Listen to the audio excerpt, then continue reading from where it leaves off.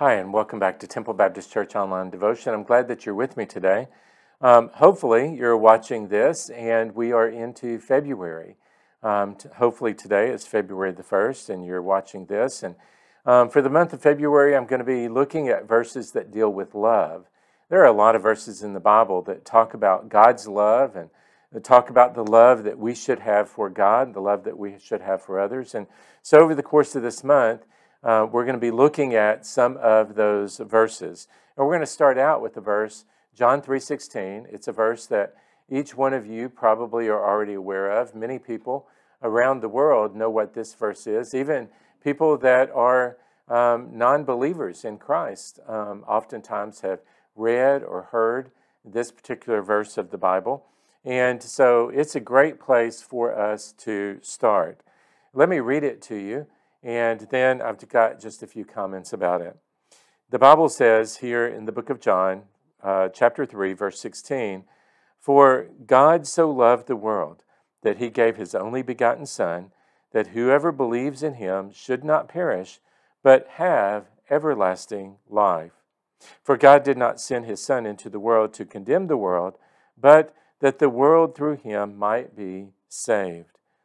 He who believes in him is not condemned, but he who has not believed is condemned already, because he has not believed in the name of the only begotten Son of God.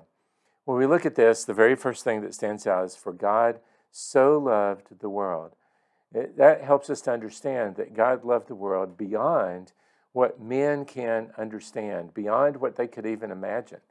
Imagine God being in heaven with his Son Jesus, who is also in heaven with him, and loving creation enough, a creation that um, is disobedient to him, a creation that um, is sinful in every way, a creation that is spiritually dead to him, a creation that doesn't search for him or try to know him or try to know his ways.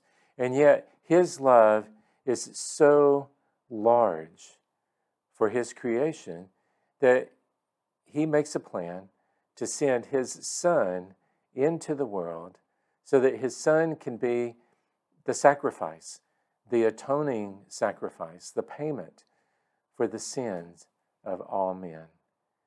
That is love, that you're willing to give up your own child. I don't know if I'd ever be willing to give up my own child for somebody else, but God was willing to give up his son in the way that he knew him at that time for the well being, for the benefit, for the eternal salvation of all people that would come to believe and trust in him. People are not saved simply because God chooses to condemn them.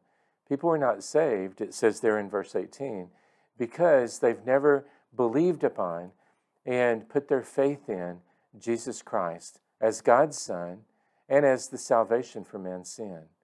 That's part of the love of God, that He makes it possible for us to be saved from the consequence of our sin. And that salvation occurs in Jesus Christ, His Son. For God so loved the world, you and me, our parents, our grandparents, our children, our grandchildren, our neighbors, our friends, our colleagues, the people that we bump into at the grocery store. For God has so loved all of mankind that he sent his only begotten Son, that whoever would believe in him shall not perish, but have everlasting life. Here at Temple Baptist Church, we pray, we hope that you have put your faith in Jesus Christ as your Lord and your Savior and that you're able to experience the great love that God has for you. If not, we encourage you to come and join us here. We have services on Sunday at 8 a.m. and at 10 a.m., and on Sunday night at 6 p.m., and we'd love to help you understand what it means to have faith in Christ so that you could experience God's great love.